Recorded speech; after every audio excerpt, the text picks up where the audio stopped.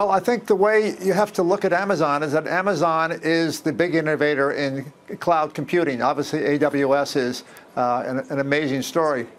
Healthcare hasn't had cloud computing, particularly in the pharmacy benefit management space before, until RxAdvance came out with the first uh, transaction automation platform.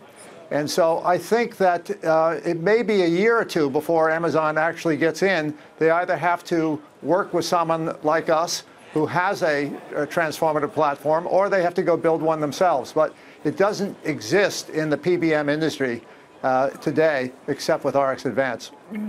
I'm not going to ask you whether you want to be bought by Amazon, but is this something that, given their arsenal of, uh, of money and uh, intelligence, that they could do on their own or not? I think it would be very challenging to do it on their own because uh, it's all about the deep domain expertise of this very granular healthcare industry that is largely shaped by special interests. I mean, a lot of people look at the traditional PBMs and say, exactly what is the added value that these middlemen provide, uh, given that they have no transparency in terms of the drug e economics. Uh, they don't tell anything about what the spreads are and how they make money. And I think if Amazon were to come into this industry, uh, that they would want to disrupt that.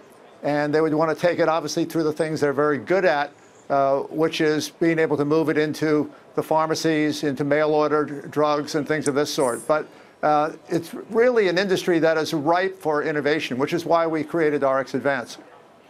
So, given everything that you're predicting, it sounds like, and if we do see this merger between Aetna and CVS, Amazon potentially entering the space as well, disrupting the whole model, is this all good for consumers?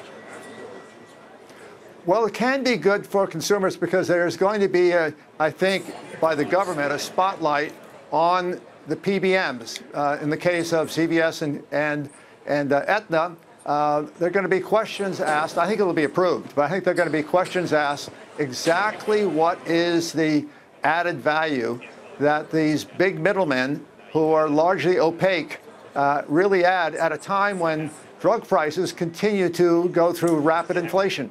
So I think actually that spotlight will be good for the industry because it'll put a higher priority on this industry needs to be disrupted. Hey there, thanks for checking out CNBC on YouTube. Be sure to subscribe to stay up to date on all of the day's biggest stories. You can also click on any of the videos around me to watch the latest from CNBC. Thanks for watching.